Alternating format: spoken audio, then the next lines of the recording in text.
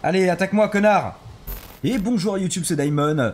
On se retrouve à côté des plaines, justement pour le guide qui est dédié à ce biome. Donc, euh, petit avant-poste standard que je vous ai présenté dans une précédente vidéo.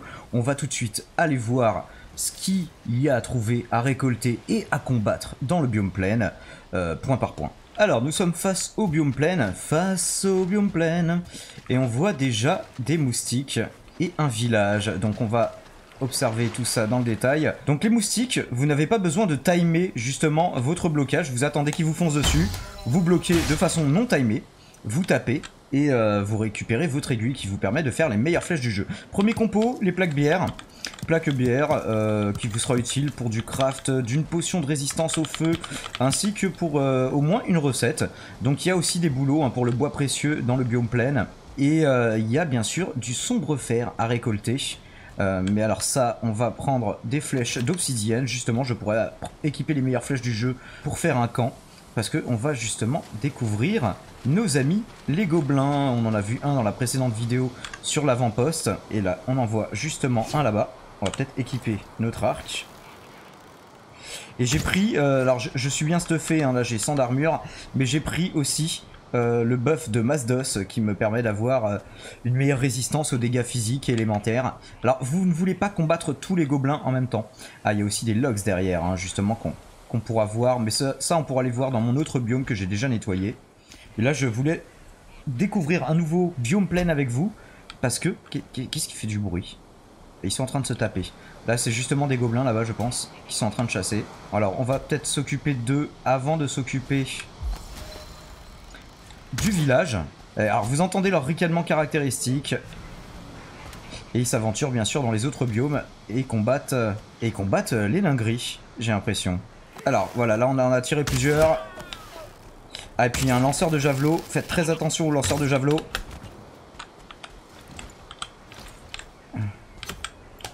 Ah, c'est raté.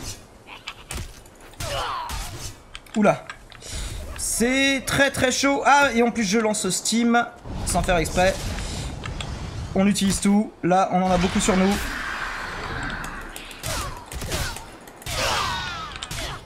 Mais c'est très compliqué les gobelins, vous ne voulez jamais en avoir plusieurs euh, contre vous, vous avez vu. Même avec un bon stuff, c'est compliqué. Bon, quand il y en a un seul, c'est facile. C'est facile de timer les blocages sur un mob, mais quand, euh, quand ils font des attaques pas en même temps et qu'ils sont plusieurs, vous pouvez juste rester appuyé. Euh, là, vous avez vu, c'était chaud. Hein. J'ai fait un petit peu n'importe quoi, j'ai quand même pas très bien géré. Ah, j'entends encore un taux. Il, fait un petit peu comme euh, le, bruit de d'Homer Simpson. Je sais pas si vous, êtes d'accord avec moi. Un petit peu une sorte de do. Allez, tu viens. Non, il ne vient pas. Voilà.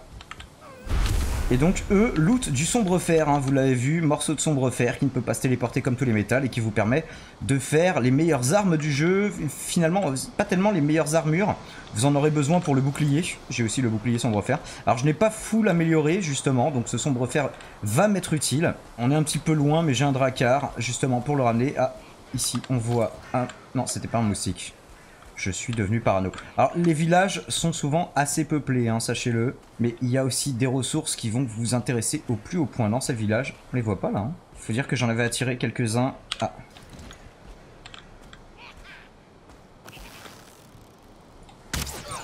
Ah là, on a, on a du une étoile, il faut faire attention.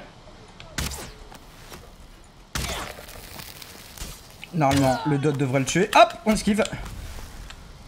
Parce que les javelots, ils font vraiment très mal. Ah là, on, s'est fait avoir, justement. Voilà, dès qu'on le bloque, c'est beaucoup plus facile. Il y en a un autre là-bas. Alors là, je le fais un peu salement, mais normalement, vous voulez vraiment le faire en mode sneaky, de loin, les prendre un par un. Parce qu'on entend toujours des...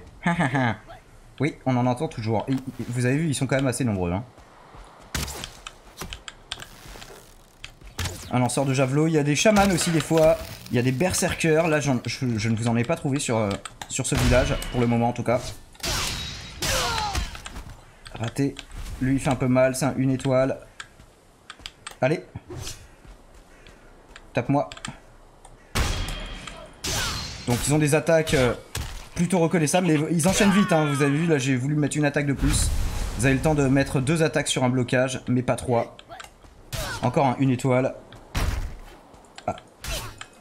Là, j'ai pas timé le blocage, je suis juste resté appuyé. Dans le doute. Et donc euh, j'ai pris 0,8, mais j'ai encore le buff de Mazdos, donc euh, mieux vaut timer les parades sur le coup.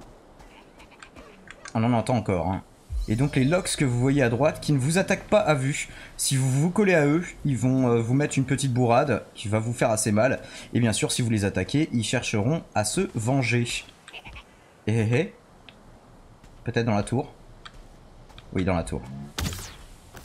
On ne le touche pas. Reviens le gobelin. Parce que c'est assez chiant. Il y, a aussi des tours dans lesquelles vous pouvez trouver des gobelins. Donc euh, vous avez vu, ils sont un, petit peu évolués quand même. Ils ont des villages. Bon, c'est pas... C'est pas non plus euh, très fou. Mais il y a des constructions. Ils ont des petites maisons. Ils ont des escaliers. Ils ont des échelles. Et à limite, euh, on pourrait se dire qu'on a envie de faire une base non standard, du coup, sur le coup. Un avant-poste non standard. Il m'a pas loot de, sombre fer, cet enfoiré?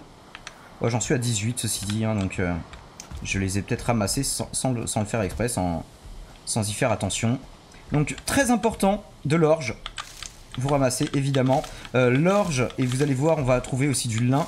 Sachez que euh, vous pouvez les cultiver mais uniquement dans les biomes prairies, d'où l'intérêt de vous faire euh, aussi une petite surface d'agriculture comme je vous le montrerai plus tard. Donc c'est la sauvegarde. Donc là c'est que de l'orge mais des fois il y a du lin aussi. Non ça c'est juste une touffe, hein, on est d'accord, c'est sur des sols cultivés. Donc on prend l'orge, ça pèse pas très lourd. Fouillez bien les coffres, évidemment. Sombre fer, du lin. Ah non, de l'orge, toujours. Peut-être finir par trouver du lin. Et je suis encombré, ce qui m'embête un petit peu. Donc on va revenir à notre avant-poste. On se déleste un petit peu.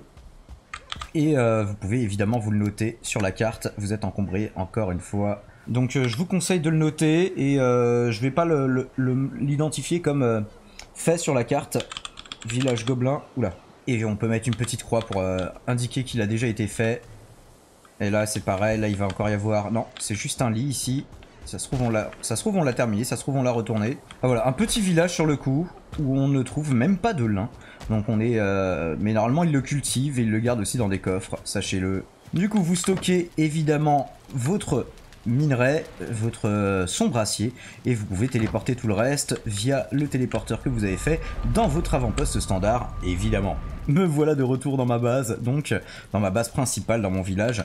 Euh, concernant l'orge, je vous conseille de le split un peu, d'en garder, je sais pas, euh, un petit 10%, 5%, un petit pourcentage en tout cas, de le conserver sous forme naturelle et de ne pas le retravailler étant donné que vous avez des potions qui vous demandent de l'orge justement la potion de résistance au feu, enfin base d'hydromel, euh, non c'était pas une base d'hydromel, c'était une base de vin d'orge justement.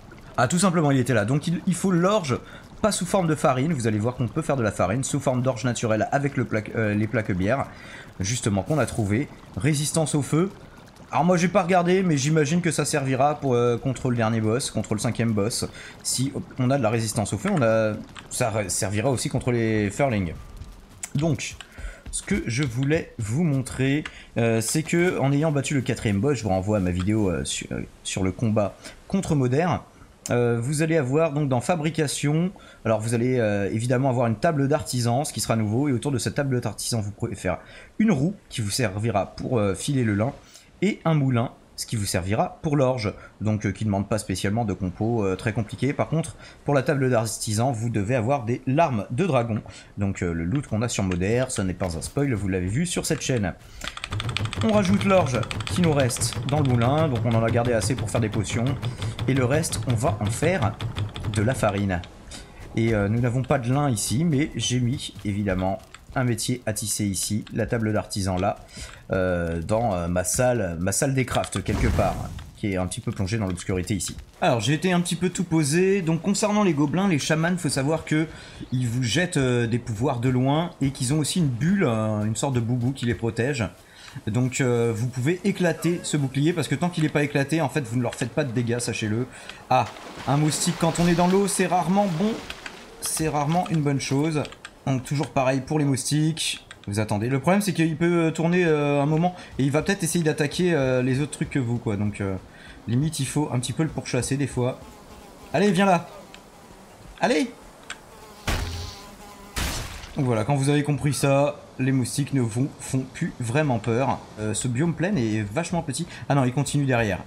il continue derrière, donc il y aura potentiellement plus de choses à aller explorer. Donc faut savoir aussi une autre chose, c'est que si dans la plaine pop à intervalles réguliers des gobelins, euh, les villages ne seront plus peuplés. Hein. Les villages, une fois que vous les avez euh, décimés, ils restent décimés. Donc je vous conseille la première flèche, vu qu'elle fait beaucoup plus de dégâts, euh, de, faire, de prendre votre meilleure flèche. Là, on va s'attaquer au Lox. Et ensuite, de prendre des flèches en bois par mesure d'économie, étant donné que vous avez normalement le croc de Donc l'arc que j'ai sur moi. Logiquement, vous devriez, même avec des flèches en bois, c'est vraiment le gros avantage de cet arc, c'est que, surtout quand vous l'avez full amélioré, c'est que c'est l'arc qui met des dots et non pas les flèches. Enfin, et si vous avez des flèches qui mettent des dots, c'est encore mieux. Alors lui, il a un schéma d'attaque, voilà, il se fige. Vous avez eu le temps de prendre du recul. Vous avez même pas besoin de courir d'ailleurs, en fait. Ah, là, je me suis fait avoir, donc vous voyez, ça fait un petit peu mal. On prend un peu de recul. On peut le faire sans courir, normalement. Hein. Voilà, regardez, là, je le fais sans courir. Pour économiser ma stamina, mon endurance. Toujours pareil. Je crois qu'il a deux types d'attaques. Un où il se cabre et un où il met un coup de mâchoire. C'est celui-là qui m'a eu tout à l'heure. Ah, un gobelin. Donc là, il est au cac, autant le faire. Au corps à corps, ça ira plus vite. Un peu de sombre fer. Et donc, alors, les lox, ils vous donnent de la viande de lox et évidemment de la peau de lox, donc qui m'a servi à faire une cape. Là, c'est pas celle que j'ai, je la trouve pas très jolie. Et aussi, ça vous permet de faire des tapis, ça vous permet peut-être certains crafts, je veux pas vous dire de bêtises. Et donc euh, des troupeaux de lox, vous en avez pas mal. Euh, et, il y aurait sûrement beaucoup à explorer, mais ça nous prendrait du temps. Alors là, vous voyez, ils m'attaquent pas, mais si je me rapproche plus que ça, ils peuvent, euh, ils peuvent me mettre une tatane. Donc sachez que ça peut arriver. Et je me demande jusqu'où continue ce biome. Mais est-ce qu'il conviendrait pas plutôt de prendre... là, il vient quand même un petit peu gratter vers moi. Hein.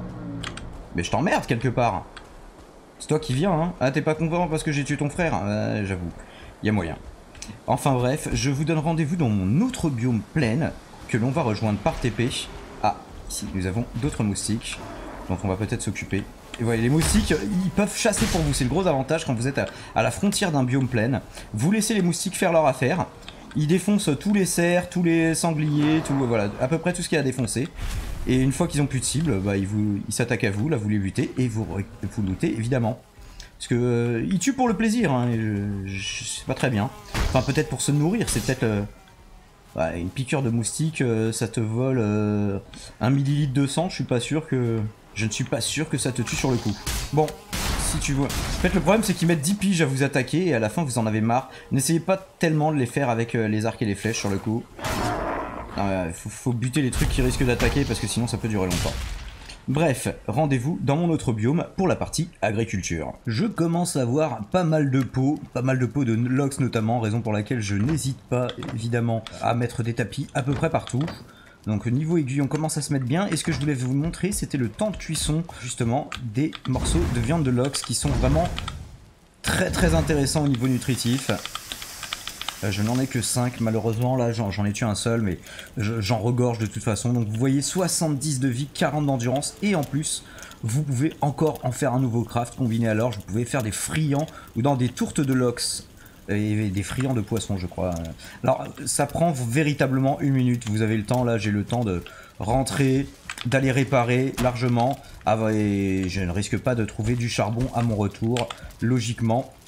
Et donc juste après on va partir sur l'agriculture pour vous montrer un petit peu ça. Donc j'ai fait quelque chose de très très simple, je, je vous le montre pas ex nihilo en partant de zéro, mais euh, je vous montre, euh, je vous renvoie à mon tuto, euh, à mon tuto sur les avant-postes standards pour comprendre un petit peu le concept. Vous, vous allez faire le lien quand je vous le montrerai. Donc vous avez vu là c'est toujours pas cuit, hein. donc c'est véritablement très long, je vous le passe au montage, enfin au montage. Je vous le passe à l'enregistrement. Ah ça y est, tout est cuit, donc, on récolte le tout, on va aller stocker ce qu'il y a en trop, il n'y a rien en trop. Et donc, euh, oui, voilà, des recettes, des recettes qui vont être assez intéressantes. Je ne vous ai montré que la potion tout à l'heure, mais euh, vous avez le boudin, donc avec l'orge, les poches de sang qu'on trouve dans les marais, les chardons qu'on trouve dans les marais et la forêt noire. Le pain, véritablement, je vois pas trop l'intérêt. À part qu'il dure assez longtemps, 1800 secondes, mais bon, moins longtemps que d'autres. Et euh, ça vous prend 10 farines d'orge. Alors par contre, ça vous prend rien d'autre. C'est peut-être le seul avantage. Soupe de carottes, on connaît déjà, c'est bien pour l'endurance. Friand de poisson, c'est pas mal pour l'endurance aussi. Alors c'est étonnant parce que le poisson lui-même, c'est surtout euh, de la vie que ça, vous donne. 60 de vie, 90 d'endurance, 2400 et par contre 4 HP par tick. Et là, vraiment une bonne nourriture bien équilibrée, 80-80 et 2400 secondes, euh, sachant que là c'est 70-40, 2000 secondes. Donc euh, un véritable gain. Et euh, ça, c'est les recettes d'endgame qui sont vraiment pas mal. Moi, j'en ai fait quelques-uns. J'ai commencé à en coffrer en prévision, je sais pas, d'un gros village ou je sais pas, par exemple du cinquième boss, tout simplement. et je les ai coffrés, voilà ici, des tourtes, du boudin et donc un petit peu de farine en prévision. Alors pour le moulin, je vous conseille d'en faire plusieurs et moi je l'ai mal positionné, c'est-à-dire que là niveau vent, c'est pas terrible. Bon bah là peut-être parce que le vent est faible euh, tout simplement. Et donc on récupère évidemment notre orge et il en reste 35, hein, donc euh, c'est assez lent. Et euh, pour le lin, bah, je vais vous montrer, je vais en récolter un petit peu avec vous. Nous sommes donc dans le biome plaine 1, tel que moi je l'ai répertorié. Donc vous voyez, hein, l'avant-poste, alors l'emplacement du lit est pas exactement identique, hein, et des choses alentours.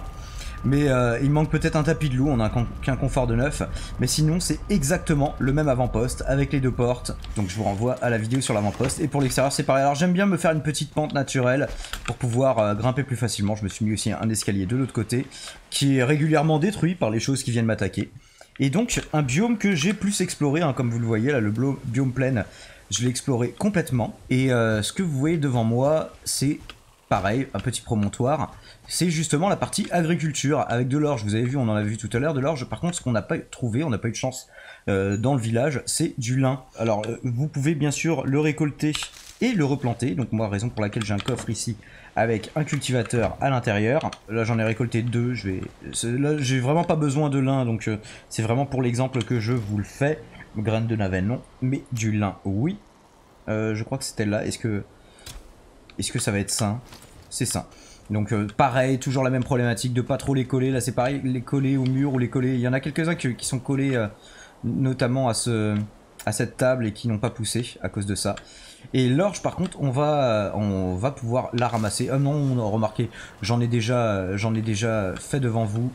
Donc, mais c'était simplement pour vous montrer, vous protégez simplement l'extérieur, vous replantez, à chaque fois que vous en, vous en plantez un, vous en récoltez deux. Donc là, vous avez vu, j'ai ramassé un d'orge, j'en ai deux, je peux en replanter un. Donc vous pouvez faire x2. Il y contrairement aux carottes, vous pouvez faire x3. Et euh, donc dans ce biome, j'ai trouvé deux villages, il y en a un ici et un par là-bas tout au loin. Et pour la chasse au lox, c'est pas mal aussi. Euh, je crois vous avoir montré à peu près toutes les compos. Donc euh, son brassier, le lin, l'orge, Sinon, ça vous doute des piastres, euh, les gobelins. Et bien sûr, la peau, enfin la fourrure de l'ox et la viande de l'ox. Ah, attendez, est-ce que c'est...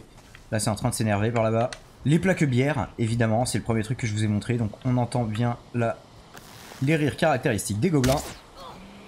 Ah, je l'ai raté. Mince, je me suis mis les deux à dos Saloperie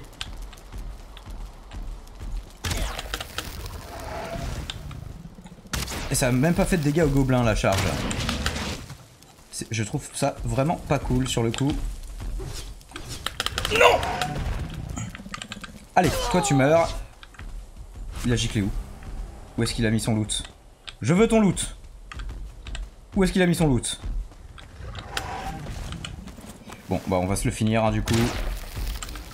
Et alors la bonne technique, du coup, le gros avantage de ce genre de choses, comme vous le voyez, c'est qu'elles sont indestructibles, il va juste rebrousser chemin. Les Lox euh, lâche vite l'affaire hein, d'ailleurs. Alors par contre, il peut vous avoir avec sa ruée si vous restez là. On ne se fait pas avoir. Je ne sais pas ce qu'il a détruit. Ah bah il y avait euh, visiblement des trucs en bois. Peut-être une échelle, ou peut-être une torche. C'est possible. Souvent je, je torche euh, à peu près toutes mes installations. Et donc vous l'avez à l'usure, hein, comme ça tout simplement. Normalement les Lox ne devraient pas vous poser trop trop de problèmes, contrairement aux gobelins qui, quand ils vous attaquent à plusieurs, euh, sont un petit peu relous. Donc vous voyez, vous fuyez, lui repart, vous remontez. Et j'ai pas ramassé le sombre fer, hein, donc il va falloir que je le retrouve. Donc restez pas en haut de la barrière quand il fait ça, sinon vous vous prenez quand même son attaque dans la tronche. Son attaque fait assez mal. Euh, l'attaque de la mâchoire, pas vraiment. Donc là, dès que je vais redescendre, il va me réaggro. Et on le loot, tout simplement. Donc euh, un, biome plutôt trompeur, hein, vous aussi, pour les personnes qui ont suivi mon Twitch, euh, vous avez vu la première fois à l'époque où, on était encore tous à, 8 à jouer à la Haute Manor, on avait débarqué sur un biome plein en se disant tiens, Ça a l'air mignon, ça a pas l'air d'être un biome endgame, euh, contrairement au biome marécage qui a l'air plutôt méchant. Non, attendez, j'essaie de retrouver le sombre fer. je ne sais pas, ah, c'est peut-être lui là-bas. Si, si, c'est lui. Voilà qui est fait. Et je crois que j'ai stocké un petit peu de sombre fer ici. Donc vous avez aussi des grands monolithes. Et donc ouais, c'est un biome plutôt trompeur, on s'attend à ce que ce soit quelque chose d'assez cool, et ça ne l'est pas. Donc quand c'est vert, quand c'est jaune paille, c'est que c'est prêt à récolter dans un cas comme dans l'autre. Et donc pour rappel, hein, ça ne pousse qu'ici, que dans le biome prairie. Donc euh, j'ai pensé un moment à me faire des, une muraille de part et d'autre euh, du chemin que j'ai mis. Vous savez que j'aime bien me faire des routes, même sur des, trajets aussi petits. Donc euh, biome, prairie et biome plaine juste en face. C'est quand même bien pratique. Je vous conseille de faire la même chose pour pas trop vous emmerder. Et vous retéléporter avec le tout. Évidemment, sauf le sombre fer. Je crois que donc j'ai du sombre fer ici. Voilà, j'ai 38 de sombre fer. Donc je vais le ramener, je vous passe ça évidemment à l'enregistrement. Alors pour le lin, c'est très simple, vous avez cette entrée ici où vous ajoutez le lin, là j'ai juste un de lin à transformer étant donné que j'en ai déjà plusieurs stacks de 50 et pas nécessairement l'utilité. Et euh, donc l'autre chose qui va nous intéresser, c'est ce haut fourneau, haut fourneau qui doit être à proximité lui aussi, comme le moulin, comme euh, la roue, à proximité de votre table d'artisan, donc un champ plutôt large. Je l'ai mis à l'extérieur avec euh, la petite plantation de navets que je commence à faire. Le lin c'est assez rapide et ça tombe ensuite tout simplement comme ça, toile de lin, et ça vous servira pour toutes les armures endgame, euh, véritablement, là par exemple, euh, tout le stuff rembourré, cuirasse rembourré, casque rembourré, jambière rembourrée, ce sera utile, donc n'hésitez pas à en avoir un maximum, même si là, j'ai passé ce stade, et euh, je n'en ai plus trop besoin, étant donné que mon stuff est déjà full amélioré, sans c'est le maximum d'armure dans le jeu que vous atteindrez dans les plaines, en tout cas pour le moment. Euh, on sait qu'il y a toujours euh, les deux autres biomes, les Mistlands et euh, les terres de cendre, les Ashlands, qui doivent arriver prochainement. Ah bah justement, elle était là, la maison de mon premier tuto pour faire une maison. Regardez la cheminée, comment elle est complètement dégueulasse. C'est pour ça que maintenant je fais 4 sur 4, parce que 3 sur 4, il y a quelque chose de dissymétrique qui est pas terrible. Et donc le toit à 45 degrés qui est pas terrible. Il me sert à entreposer tout ce qui a un rapport avec le bois, et notamment le cultivateur, l'autre cultivateur. Ah oui, j'ai ramené mince, celui, celui des plaines. Bah c'est pas grave, je le ramènerai. Ça, je peux le téléporter. Comme vous le voyez j'ai ramené du sombre fer, donc j'en ai ramené 68, et on va commencer à le fondre. Donc pour le fondre, bien sûr, on ne peut pas le mettre, on ne peut pas le mettre dans les fourneaux normaux, vous n'avez rien à transformer, et il faut donc, c'est au fourneau que là aussi, il faut faire le quatrième boss pour ça. On a déjà le charbon qui est chargé à fond, et on va se garder une petite réserve pour se le fondre. J'ai un seul haut fourneau du coup, je vous avoue que je dois avoir des larmes, des larmes en réserve ceci dit, donc euh, je pourrais sûrement en faire plus. Et donc on va le charger à fond. Étant donné que j'ai deux d'orge, pourquoi ne pas les mettre à mouliner? Donc le moulin, ouais, ne, vraiment là, il est coincé entre deux bâtiments. Vous voyez qu'il galère vraiment beaucoup à prendre le vent. Ne faites pas la même chose. Hein. Si c'était à refaire, je leur ferais une plaine bien dégagée, protégée, euh, mais exposée au vent. Et j'en mettrai plusieurs d'affilée. C'est sûrement ce que je finirai par faire de toute manière. Et vous récupérez votre sombre fer pour aller le transformer à votre fonderie. Forge, fonderie? Euh, plutôt forge du coup. Donc une réserve de lin plutôt conséquente et euh, par contre de sombre acier qui commençait à se raréfier. On va pouvoir améliorer la hache au niveau 4 et l'épée en sombre acier niveau 4 elle aussi puisque c'est les crafts que vous pouvez réaliser donc à votre forge et non pas votre fonderie. Donc le cuirasse rembourré, vous voyez c'est du fer, c'est pas du sombre acier par contre ça demande masse de lin. Euh, donc pareil pour les jambières, donc préparez-vous quand même un surplus de fer, vous en aurez besoin. Et donc pour les armes, les armes, les armes, hache en sombre acier, ça demande sombre acier, bois précieux et du lin. Donc du lin, vous en aurez besoin pour absolument tous les crafts. On parlait du croc de drogue tout à l'heure si vous vous demandez ce qu'il fallait pour le faire. Euh, mais ça, normalement, vous l'aviez déjà dans la montagne. Et donc euh, l'épée, il n'y a, pas de pioche euh, en sombre acier. Par contre, il y a un bouclier en sombre acier, un écu en sombre acier. N'oubliez pas, bien sûr, les styles à chaque fois. Il est plutôt joli d'ailleurs. L'épée en sombre acier, donc, que l'on va pouvoir upgrade, sachant que les derniers upgrades euh, coûtent assez cher. Hein. 30 de sombre acier, 15 de lin, juste pour euh, gagner, là on est à 113 de coupant contre 107 de coupant, un gain qui est quand même assez modeste euh, si on le compare, si on le relativise par rapport, par rapport au coût. Et alors par contre il faudra que j'upgrade niveau 7, donc on va voir ce qu'il faut prendre pour arriver niveau 7. Ce qu'il faut construire, parce qu'il faut prendre, évidemment. Ok, j'ai trouvé ce qui manquait. Donc j'avais déjà une enclume, mais je n'avais pas une enclume de forgeron, comme vous le voyez ici. Donc un seau de forge, une enclume, une enclume de forgeron, le râtelier de forge, la meule et euh, le soufflet de forge. Normalement, on a tout ce qu'il nous faut. Nous sommes au niveau 7 pour l'upgrade. Maintenant, il ne nous manque plus que les compos. Alors, on a fait exprès de faire passer la nuit. On récupère notre sombracier. On réenfourne. Et on va chercher évidemment. Alors, c'est le moulin fait beaucoup de bruit quand il est en train de broyer parce que c'est un système de, pierres qui coulissent les unes sur les autres. On pourrait remettre un petit peu de charbon euh, à se faire, évidemment, même si on en a d'avance. Je vous conseille d'ailleurs d'en avoir toujours beaucoup d'avance, étant donné que c'est souvent le charbon qui va être bloquant une fois que vous euh, ramenez des grosses quantités de métal. C'est pas très très opti, hein. j'ai... J'ai quand même tout qui est relativement loin dans le village, c'est-à-dire que c'est mon bâtiment principal qu'on voit tout là-bas dans le viseur, là où il y a la forge. Si on est encombré, on ne peut pas faire ce trajet. Vous avez vu, j'ai fini par paver en, partiellement mon village pour lui faire quelques petits chemins. Euh, c'est pas superbement, impeccablement fait d'ailleurs, vous le remarquerez, c'est pas très très plat. Peut-être que je finirai par le refaire un jour, qui sait? Et donc, on stack évidemment notre sombracier jusqu'au moment où on en aura assez. Alors c'est quand même un gros gros avantage quand même du sombracier, c'est qu'il n'y a pas besoin de le miner. Les mobs repopent à l'infini. Donc euh, c'est parfois un petit peu long, c'est vrai. Ça c'est le, côté chiant. Donc les villages, c'est vraiment un, moyen de faire beaucoup de sombraciers d'un coup. Parce que sinon, si vous attendez de les croiser dans les plaines... Alors remarquez, vous faites un petit tour tous les jours dans les plaines pour faire votre agriculture. Vous baladez, vous lootez un peu de lox et toujours dans le trajet, vous allez... Euh, croiser un, deux, trois gobelins et repartir si euh, les gobelins qui ont plus d'étoiles vous lâchent plus de sombraciers. Donc sachez-le, ça peut vous aider.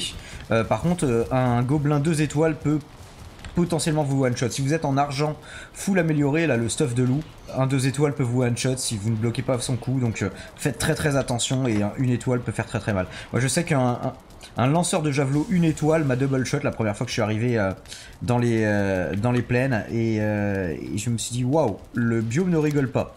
Et effectivement le biome ne rigole pas mais quand on a 100 d'armure c'est plus facile. Et quand on connaît les animations des mobs bah, c'est d'autant plus aisé de ne pas crever comme une merde. Vous en conviendrez. Ah bah justement, je venais pour faire l'agriculture et reposer mon cultivateur, et voyez qui je croise, des copains, et en plus là ils sont vraiment pas loin, donc on va se faire plaisir. Ils peuvent rien nous faire, eux. Ah, lui, peut-être c'est un genre lanceur de javelot, peut-être peut-il nous toucher. Il faudra qu'il s'immobilise, voilà. Je ne suis pas d'une énorme précision à l'arc. Un peu de sombracier et du sombracier par ici. Où est-il l'autre? Voilà. On repère moins bien les trucs dans les plaines. Euh. Il y a plein de pollen. Alors que je sais pas, dans le... Voilà, je, n'ai plus du tout dans l'endurance. Donc là, ça c'est le risque. Ouais, déjà. Mettez quand même vous toujours full bouffe dans les plaines. Hein. On sait jamais. Ah, regardez, il y en a un autre là-bas. Un autre qui traîne euh, dans les ruines de son village euh, décimé. Ah, ça l'a pas one shot. Ouais, c'est une étoile, c'est pour ça. Parce que avec euh, l'effet de surprise, normalement, vu que je sais plus, c'est 300% de, dégâts ou un truc comme ça. Sombracier, voilà, vous voyez, on vient de se faire 4 de sombracier. Bon, J'attends d'en avoir beaucoup pour les ramener, évidemment, là, hein, j'en ai... Sinon, ça va me prendre des heures pour rien. Enfin, ça, va, ça, me prend déjà un temps considérable. Et si vous ne voulez pas téléporter si vous ne voulez pas transporter les métaux, vous pouvez les téléporter. Je vous renvoie à mon guide consacré. Ah, attendez, il y a encore un autre là? Ou c'est des moustiques? Ah, il y en a un autre là-bas. Il y a un moustique. Ah Là, du coup, ouais, voilà. C'est pour ça qu'il faut toujours avoir le bouclier parce que il m'a déséquilibré et j'ai pas pu contre-attaquer euh, rapidement. Allez, attaque-moi, connard Voilà, et on va peut-être pouvoir s'occuper de notre copain gobelin. Où es-tu? Je t'ai vu, tu t'es terrorisé la faune. Je l'ai pas entendu ceci dit. Donc euh, qui sait, ce n'est peut-être pas un. On récupère toujours des plumes au passage, hein. c'est toujours bon à prendre. Et quand même le réflexe parce que on se retrouve souvent à court de plumes à un moment. Ce qui est quand même dommage. Parce que dans ce cas-là, vous vous limitez aux flèches en bois et, et c'est quand même un peu problématique. Les oiseaux sont souvent au sol quand il pleut. C'est un des conseils que vous donne le jeu, mais il semblerait que ce soit partiellement vrai. Là j'en entends un. Je ne sais pas où il est. Bref, vous avez compris le concept. En dehors des villages, vous pouvez quand même, euh, vous quand même vous constituer un petit butin en sombre acier. Et c'est quand même plutôt stylé. Alors vous voyez le stade intermédiaire du lin, donc le lin en fleurs, avant qu'il ne devienne comme ceci. Et donc l'orge, qu'on aime bien toujours ramasser pour en avoir une quantité astronomique, même si je commence à plus être trop trop en galère d'orge. Et euh, donc pensez toujours à tout replanter. Au début, ça vous fera une production plus... Oh là, qu'est-ce qu'il y a comme serre ici? Ça vous fera une production peut-être un peu plus lente au démarrage, mais vous êtes sûr qu'elle soit viable et autosuffisante. Ce qui est quand même le concept. plutôt que euh, de tout utiliser l'orge que vous récoltez. D'ailleurs, les navets, c'est pas pareil. Hein, les, navets, on peut pas. Ça donne soit des graines de navets, soit des. Alors que là, le lin on peut... et l'orge, on peut le replanter directement. Il n'y a pas besoin de graines d'orge ou de graines de lin. Donc, euh, ce qui est plutôt pas appréciable. Donc, on finit de tout récolter et on replante tout. Du coup, là, j'ai 72 d'orge. On va voir combien j'ai une fois que j'aurai tout replanté. Pareil, pour les plantations, le mieux, c'est le, quinconce pour éviter de, les avoir trop les unes euh, sur les autres plantation en quinconce, normalement, euh, vous êtes sûr d'avoir quelque chose de sain. L'orge est chiante à planter parce qu'elle se voit mal, hein, comme, vous, comme vous le voyez sur un sol cultivé. C'est vraiment pas évident à distinguer de là où il y en a, de là où il n'y en a pas. Et donc, euh, qu'est-ce qu'il nous reste? Il nous reste 41. Je pense qu'on peut en replanter un peu plus là. On n'a pas fait du x2, là on en a gardé plus de la moitié. Allez, on va aller gratter sur le lin étant donné que le lin, nous n'en avons plus tellement besoin actuellement. Bah, ça me semble un petit peu serré. On peut, le tenter ici, mais il va peut-être être un peu proche. Ça me dit que c'est sain. Bah écoutez, c'est parfait. Et cette fois, on n'oublie pas de le reposer. Euh, limite, ce serait bien d'avoir une forge pour pouvoir le réparer, étant donné que c'est que du bronze, il n'y a pas besoin d'amélioration de forge pour ce faire. Ce qui est quand même plutôt pas appréciable. Comme je suis bloqué par le sombracier, sombracier que je vais reposer. Et quand j'en aurai euh, une bonne trentaine, j'envisagerai de le ramener. Ah, là, le moulin. Ton moulin, ton moulin va trop vite, Meunier, tu dors. Et là, en tout cas, bah, on est bien content qu'il dorme et que le moulin aille trop vite. Et pendant les tempêtes, c'est encore mieux. Hein. Pour ça, c'est le seul moment du jeu où on est content qu'il pleuve. Véritablement. Ok, donc on a 70 de son brassier.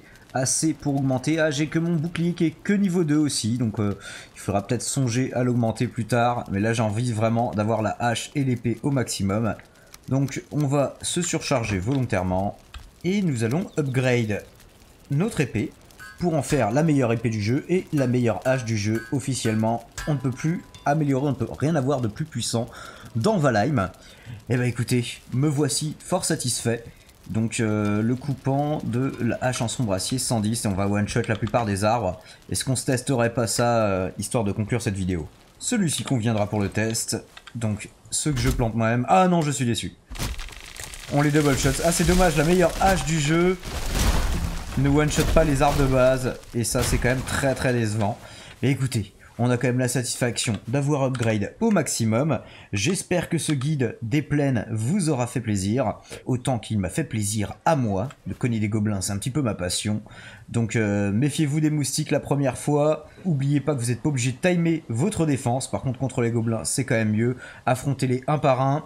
Pour euh, les locks, euh, bah, vous pouvez vous construire un petit enclos comme je l'ai fait, les attirer et ensuite vous les assaisonner de haut. Voilà, pour résumer cette vidéo, du sombracier, du lin, de l'orge, des plaques bières, et tout le monde est plutôt content. Merci d'avoir suivi cette vidéo YouTube, n'hésitez pas à liker, à vous abonner, à partager, et à vous abonner à mon autre chaîne, Diamond, les chroniques de YouTube.